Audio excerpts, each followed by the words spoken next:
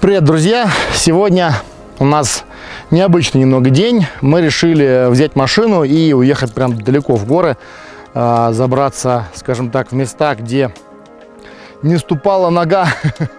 Ну, здесь, конечно, все ноги уже наступлены многократно, благодаря огромнейшему населению Китая. Вот, но мы, значит, едем а, в сторону региона Баошань.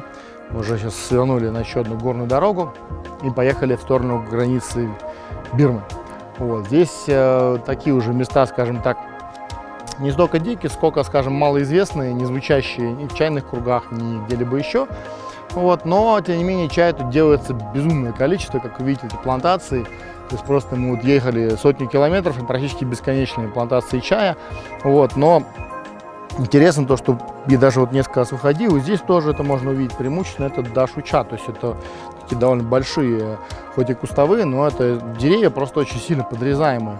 Вот, и многим плантациям видно, что уже там не то, что не десяток, но больше 50 там, лет точно. Вот, и здесь вот тоже собирают душуча, а, делают здесь шайтин, делают здесь разные сорта красного чая. Вот, сейчас мы а, сегодня еще не заходили на заводы, проезжали просто мимо. Вот, но сейчас дальше поглубже заберемся, начнем, наверное, уже пробовать чаек здесь тоже и знакомиться поближе. Тут очень красивый вид открывается, сборщицы собирают чай. А, здесь, не знаю, там, может быть, около 15 человек одновременно собирает. Но из-за размера плантации кажется, что очень мало. Вот, на самом деле активно сейчас идет уже период сбора. Сегодня у нас а, получается 3-4 апреля. И э, праздник, праздник очень скоро, Тиньминзе, поэтому чистые дни, Тимин, и э, немножко меньше народу работает, но в чайную страду все равно нужно работать как ни крути. Вот, поэтому так. Мне на самом деле очень нравятся эти просторы вообще высокогорья Юнайского, потому что тут на самом деле можно действительно говорить о том, что это чай весь высокогорный. Тут вот здесь конкретно здесь в этой точке 1700 высота, а, но мы проезжали и плантации на высоте 2000 и выше. Вот, а выше туда дальше есть еще более высокогорные плантации. Надеюсь, нам удастся на них посмотреть, попробовать местный чай. Будем продолжать движение дальше.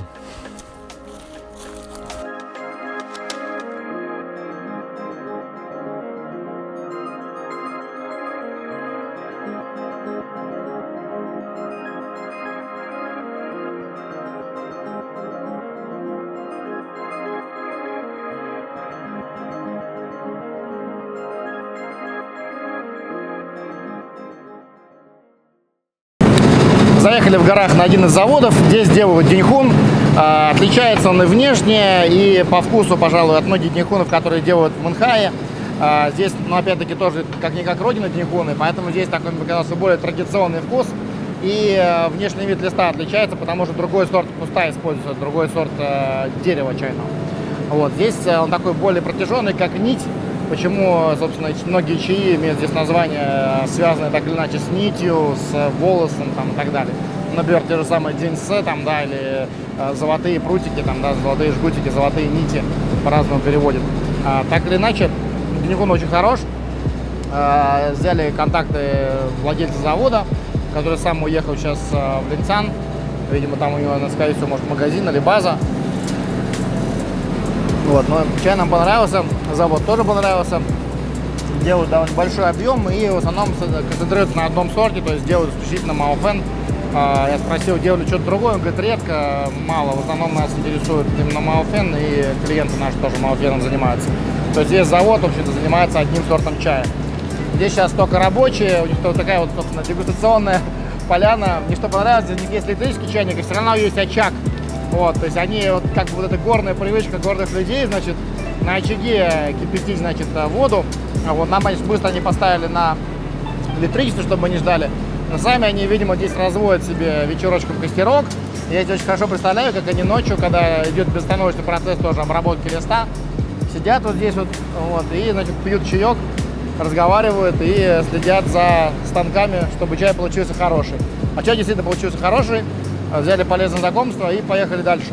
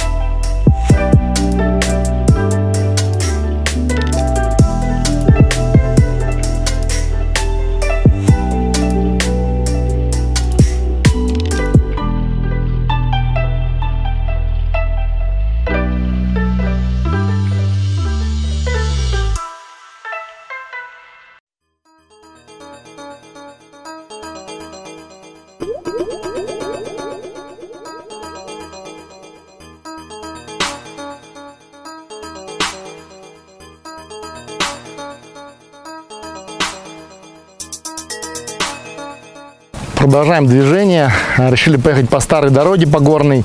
А, здесь, кстати, очень интересное такое свойство местных чайных садов, то, что они все практически а, сопровождаются еще и садами грецких орехов.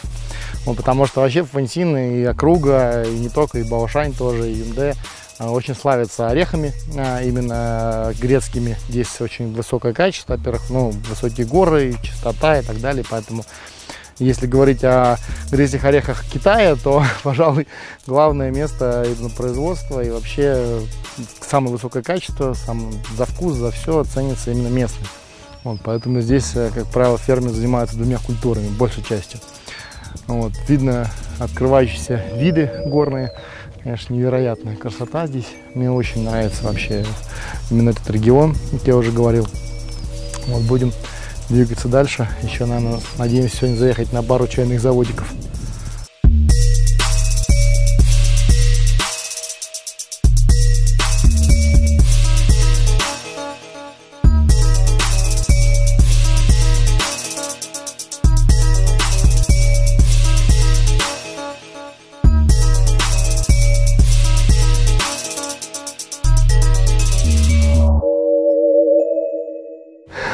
Пути э, увидели несколько деревень, проезжаем, которые занимаются уже не чаем, здесь выращивают кукурузу, сахарный тростник, просто этих сельхозкультур, потому что мы немножко спустились в низину, а чем ниже, тем, собственно, чай хуже. Вот тоже просил фермеров, а что чай здесь не выращиваете? Он говорит, ну, а что, здесь жарко и чай плохо. Я смотрю, вот на самых верхушках где-то холмиков немножечко маленькие чайные садики совсем, видимо, для себя чисто вот выращивают, чтобы не покупать, не менять, там вот есть, но не продают. Вот. Вообще интересно то, что все-таки чай высокогорная культура, как ни крути, и чем выше, тем чай ароматнее, вкуснее, и тем лучше себя чувствует чайное дерево. Когда слишком жарко, это, конечно, тоже не очень хорошо.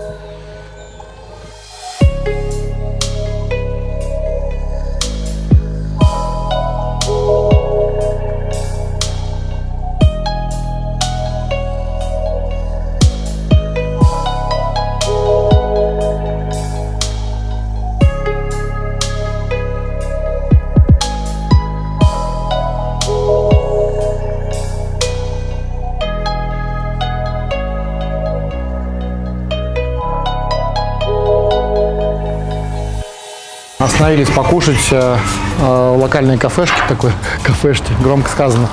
Ну, в общем, э, придорожное, такое маленькое, как-то сяо чифанька. Вот, готовят тут говядину на огне. Вот, я, правда, не смог удосужиться, зато ребята удосужились. Вот, покушали в компании местных бабушек, водителей э, автобусов э, и прочих местных жителей. Вот, маленькая деревенька в горах. Ну, поедем сейчас еще дальше. Надеемся все-таки успеть сегодня доехать до Юнде. В этом регионе делают сахарный тростник. Чаем тут никто не занимается, но в Юнде занимаются, поэтому поедем туда. Вот так вот выглядит обычная деревня в горах Юнани. Причем это не на большой дороге, это так, в глуши.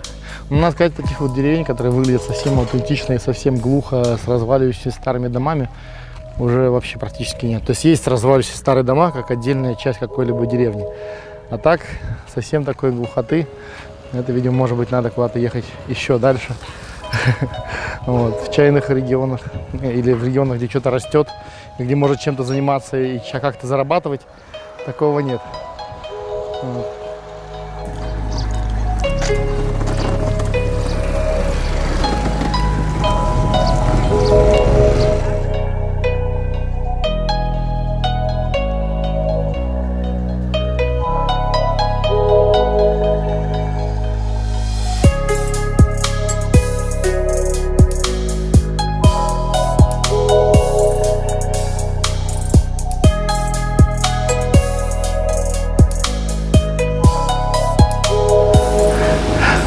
Вот здесь, судя по выгруженному пространству и по очагу, по вечерам сидят местные старички. Вот, оставили специально такой вот старый сарайчик. Вот, причем реально старый. Не знаю, сколько ему лет, но так уже еле держится, в общем. Сейчас э, все больше и больше встречаешь, когда раньше старые дома часто разрушали, а сейчас, видимо, какая-то общая тенденция по всему Китаю оставлять старый дом и рядом новый строить. Вот, а старый как, ну, для красоты, память родителей и так далее. Вот, или бабушек, дедушек. Вот. И тут у старого дома собираются по вечерам местные.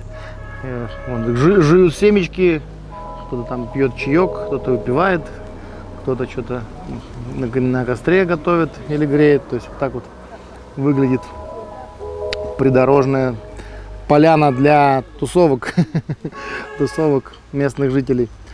Вот. Надо сказать, что здесь, конечно, целом вообще, несмотря на такой вот пришедший современный уклад, все равно по-прежнему очень так более аутентично, чем вроде бы, казалось бы, проедешь 200 километров. Вот, разница колоссальная вообще, насколько, насколько другие люди, насколько другое все вообще. Вот, то есть просто на нас тут смотрят, вот ты приезжаешь, иногда бывает даже в крупный город, на тебя понятно смотрят иностранец, там все такое, вот, но так или иначе здесь это просто вот мы сейчас кушали, надо, надо просто это было видеть. Вот вся деревня, вот все собрались такие и смотрят.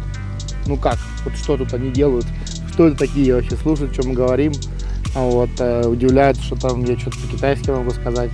Вот, сейчас вот конкретно пока я здесь сижу, вышел старичок, подошел к нашему водителю, что-то там спрашивает, типа, ой, что они тут делают там, а?» Это очень забавно, конечно, потому что таких мест еще довольно много в Китае. Вот. Но при этом внешне все это выглядит уже гораздо более цивильно, чем могло бы быть. Вот. Пойдем за чаем, что-то чая тут нет. Ой, не, наверное, надо поехать за чаем.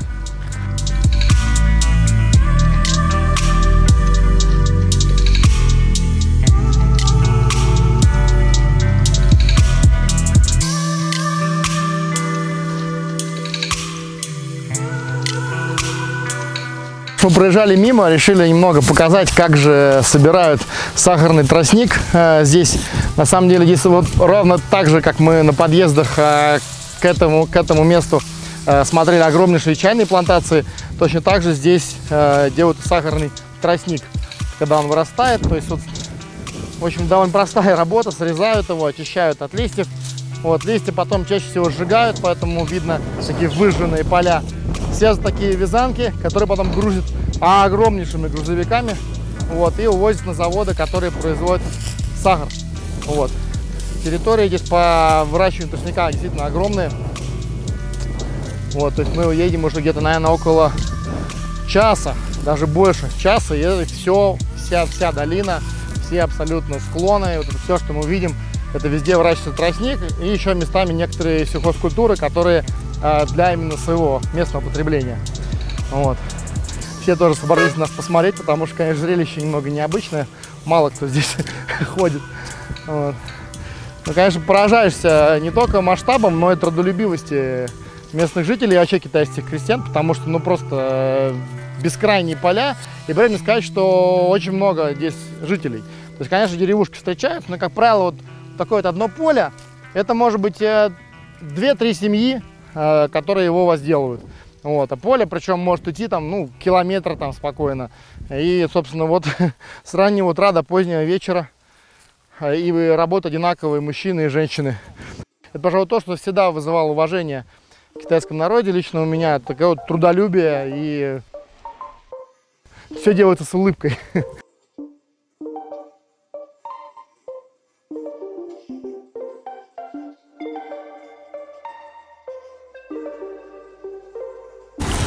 Уже обалденно. В таком виде, пожалуй, сахар в таком виде я бы ел. Вот. Многие видели, кстати, в Азии бывают э, такие машины, даже уличные, где прям сахар выжимают из тростника, вот, и добавляют там какой-то напиток на основе его делают. Вот. Да, пожалуй, очень вкусно. Он такой жидкий, там внутри вода и сахар, собственно, и все. Очень приятно. Гости у нас местный фермер. Теперь знаю, какой это на вкус. Никогда, кстати, не ел. Я как-то видел, ну, пил сок из такой машины, которая выжимает э, из тростника такую сладкую жидкость. Вот. А вот сам тростник не грыз. Он говорит, что вкуснее, мы так понял, как макушка. Какая сладкая. Но ну, говорит, что говорит, это более зеленая такая. Да? Он говорит, что корень гораздо более сладкий.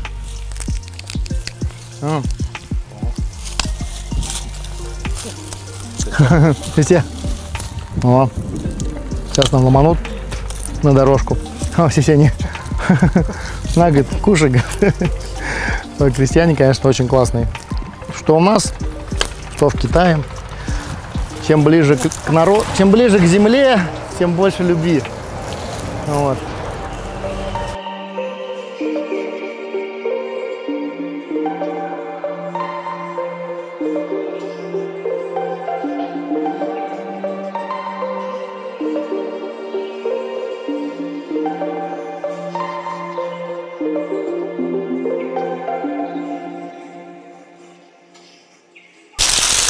Кстати, только что я сказал, что сжигают, э, собственно, макушки тростника, ну, то есть э, листья, собственно, э, в отличие от стеблей. На самом деле нет, то есть частично бывает и сжигают, когда остается что-то совсем ненужное количество, а так чаще всего вот кормят быков, вот, еще там куда-то используют, так или иначе, все безотходное производство.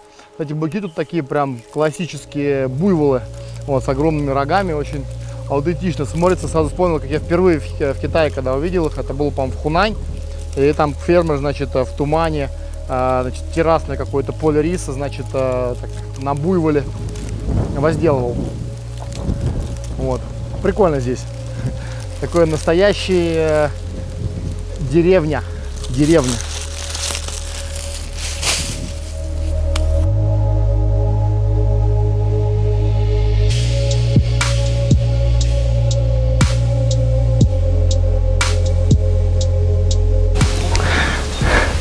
Наконец доехали до деревни, где преобладают старые дома, местами такие полуразрушенные, но все с черепичной крышей. Я очень люблю просто такие старые постройки, и поэтому, когда, когда не вижу этого долгое время, мне кажется, что все, значит, Китая уже такого больше нет, нет древних этих э, деревенек полуразрушенных, вот, которые олицетворяют собой именно тот самый Китай, которого уже нет.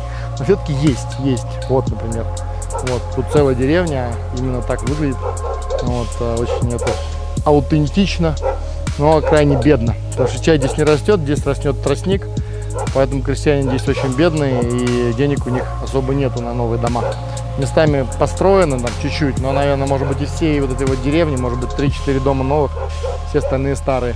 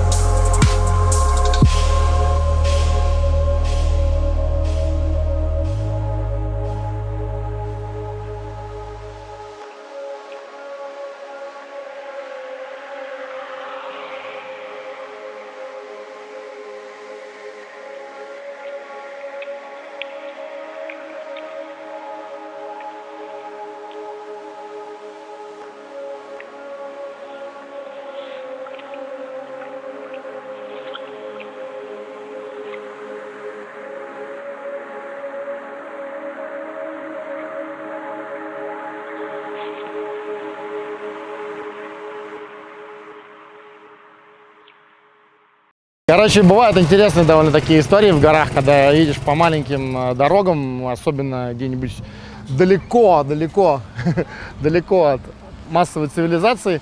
Когда ты такой едешь, едешь, сейчас я вечером приеду там в какой-то ближайший сянь, значит, там доеду до какого-то пункта, а потом бабах, и вот такое вот объява, то, что, да, ребят, давайте. Угу. С пол второго до восьми вечера машины, пум, типа перекрыта дорога, и вот что ходить, то и делать. Вот, кстати, у них там кофе растет, я смотрю. Поэтому сейчас, наверное, вернемся. Видим, небольшой чайный заводик был по дороге. Придется пить чай. Не знаю, хороший он там будет или нет, но придется.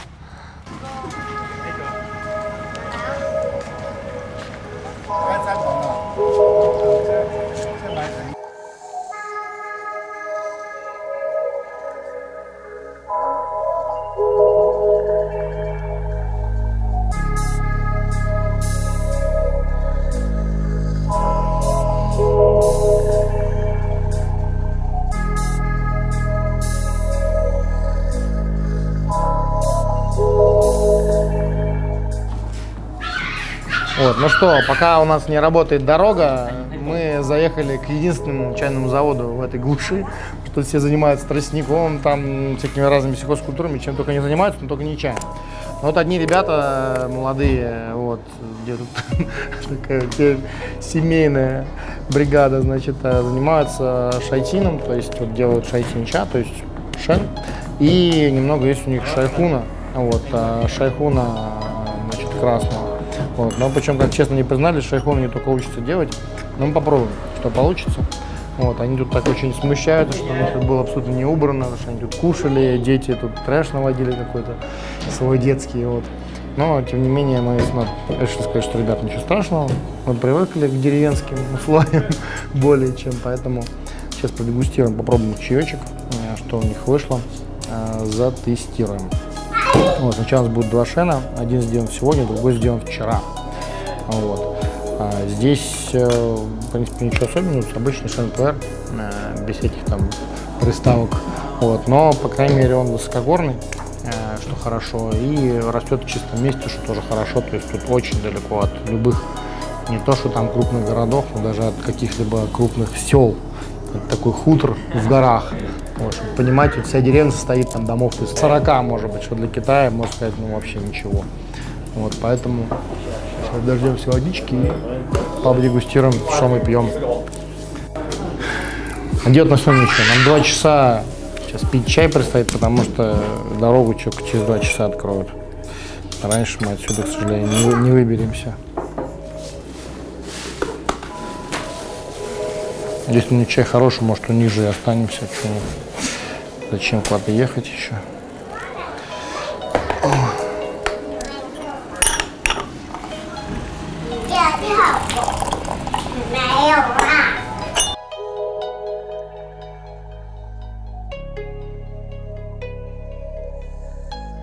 Да, аромат ты уже даже там чувствуешь, да? Ага.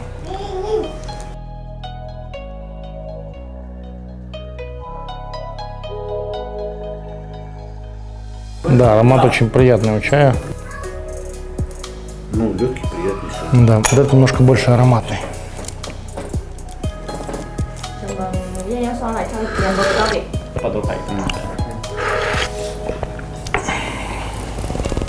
Ну-ка, посмотрим, что там.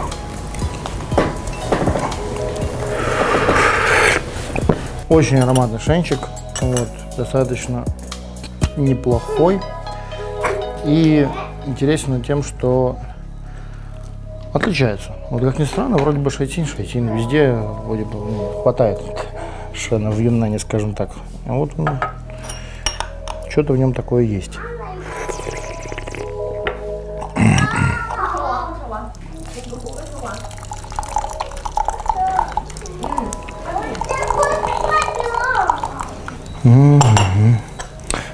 Знаешь, такой вот продукт, он интересен тем, что вот он добыт вот таким путем. Ну да, дикости свои, то есть, но, но он вкусный, реально очень вкусный шам. Так, продолжаем дегустацию. Оказался очень неплохой ребят шен, и мы сейчас еще взяли, вот, продегустировали конкретно из мешочка, который был сделан. Только что, вот. И прямо что- чтобы с того же самого мешка, который в случае чего мы возьмем. Потому что бывает очень часто партии от партии отличаются. И в этом плане хочется получить именно то, что ты хочешь.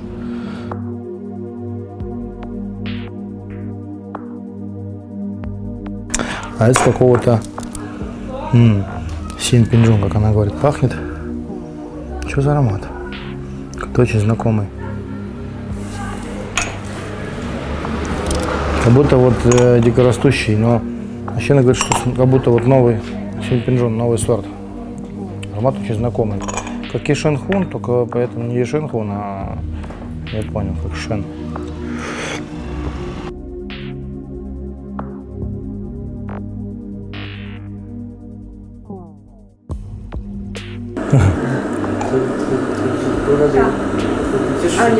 Да, точно, как дзия вот он пахнет. Ну, при этом это шен. Прикольно. Мгм. Сладость. Мгм. Интересный чай. Интересно, если его вылежу. Я тут похож, знаешь, на что? Он похож на фунтинский, вот, вот, который делали раньше блины. э, Фунтинский завод делал. Вот сырье очень похоже на это.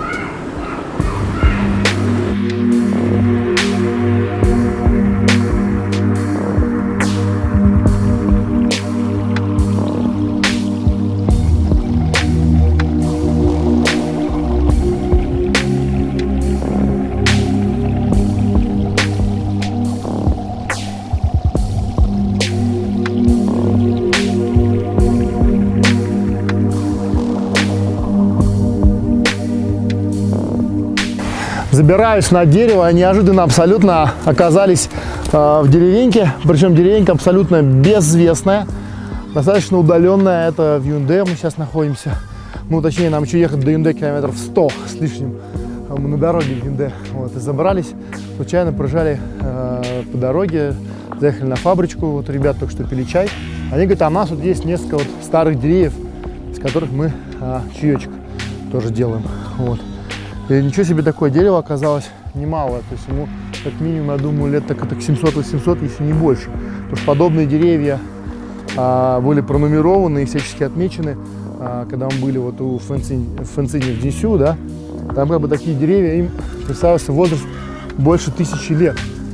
И этим же деревьям а, говорят, что всего лишь несколько сотен.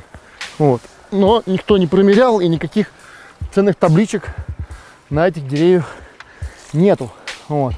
И, собственно, поэтому и местные фермеры тоже их как бы сами не определяют как что-то такое прям супер уникальное. Но мы оценили это как супер уникальное и уже договорились в следующем году сделать себе чаек именно с этого дерева.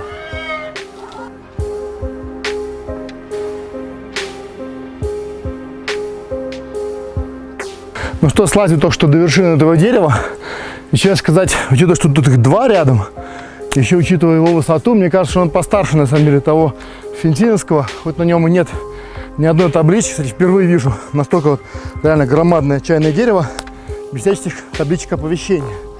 Вот. Так или иначе, мне кажется, что ему может даже под тысячу или даже больше лет.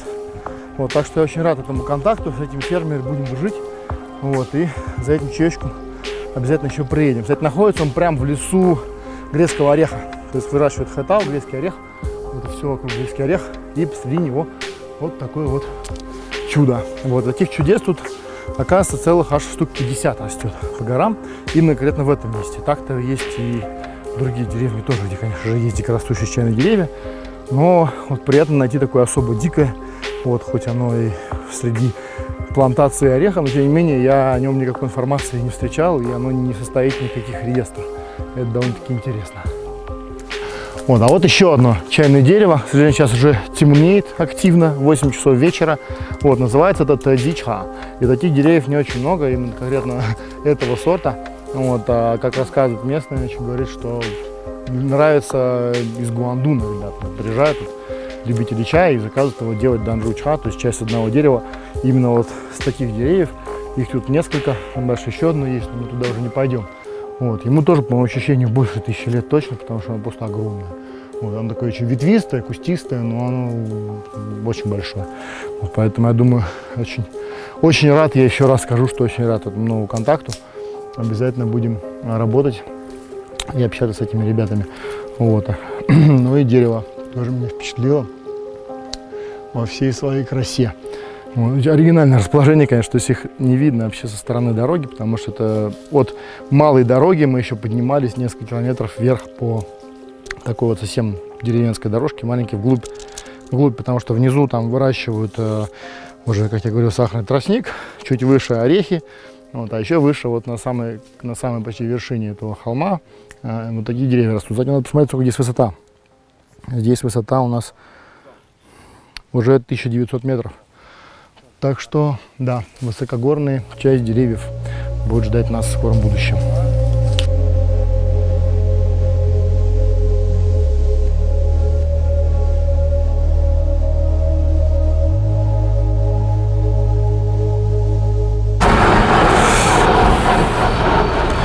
Так, ну что, приключения у нас продолжаются. А продолжаются не тем, что мы сейчас приехали снова э, на место, где должны были вроде как уже починить дорогу, но дорогу еще вообще ни разу не починили.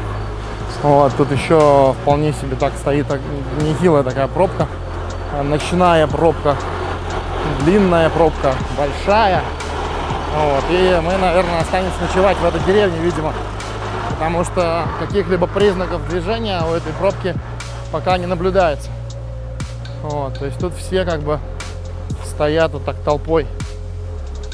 Тут, естественно, деревня, тут никаких гостиниц, само собой, нет. Вот.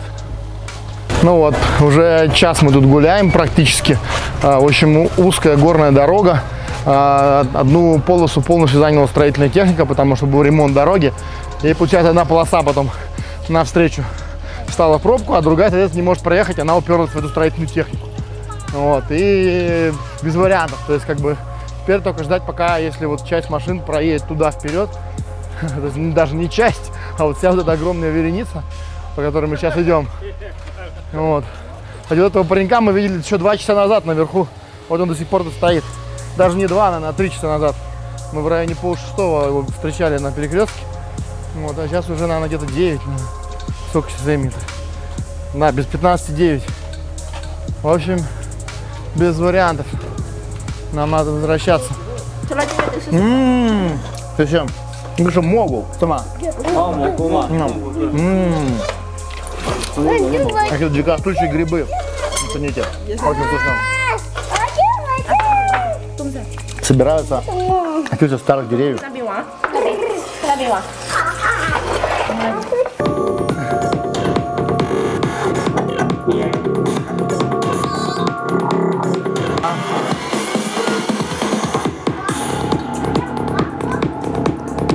Нас тут местный пацаненок трехлетний очень заценил наш музыкальный выбор. Мы сейчас музыку выключили, пока ходили кушать, и он такой подходит. Так, ну-ка, давай-ка, включай, братюнь. Подошел ко мне, прям тыкнул в этот